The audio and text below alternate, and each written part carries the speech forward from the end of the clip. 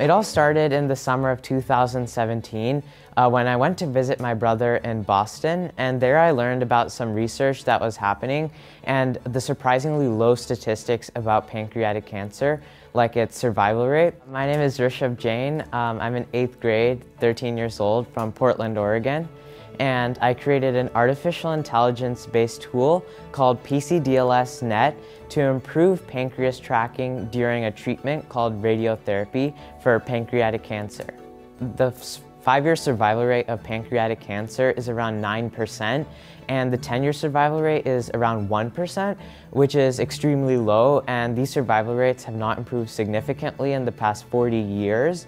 So currently pancreatic cancer is detected in a late stage and by then doctors try to use radiotherapy to help treat it, but most of the time um, it, it's not effective enough. So I got inspired to do some research on this because uh, I, I'm a big programmer and I like artificial intelligence. So I wondered if I could combine my knowledge in the two areas to help solve the problem. And I created an artificial intelligence based tool called PCDLS Net to improve pancreas tracking during a treatment called radiotherapy for pancreatic cancer. I contacted over 253 doctors and got around like 30 replies from leading experts from institutions um, at cancer centers and around the world. So as you can see in the pancreas right here, there's other organs such as the stomach and liver that may cover the area. And also it's right below the lungs, causing it to move during some of the treatments. It's also very hard to reach in. It's right in the center of the abdomen, next to the spinal cord. So for surgery, biopsies, other things like that, it may be hard to find where the pancreas is.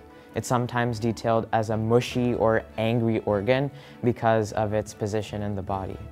This right here is a real patient CT scan and as you can see throughout its transforming, it's very hard for the human eye to detect where the pancreas is and this is especially a problem in real time when radiologists and oncologists have to find the pancreas and apply radiation treatment.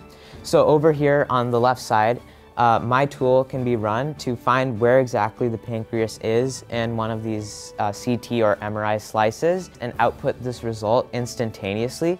So currently, uh, doctors can uh, have to apply sometimes a 7 millimeter overlay around the pancreas um, of radiation, and this can affect millions of healthy cells. So my tool is able to re reduce that area to around 4 millimeters, so that saves millions of healthy cells and can improve patient quality of care. So I have a detailed five-year plan about how I want to globally commercialize my tool, PCDLS Net, and improve pancreatic cancer survival rates. So I envision partnering with the hospital as well as 3M to work and create my tool as an add-on. And for this, I'll need to conduct clinical testing. So um, I want to gain FDA and IRB approval.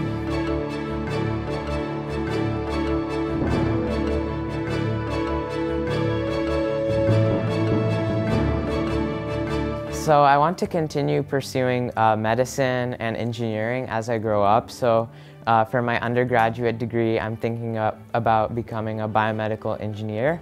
And later I want to make a difference in other people's lives. I've gotten to see firsthand um, some of my relatives who are doctors and how they can uh, perform surgery or make other treatments that improve the uh, quality of care and uh, solve problems for people in need. So I'm thinking about becoming a surgeon and uh, continuing medical research as I grow up.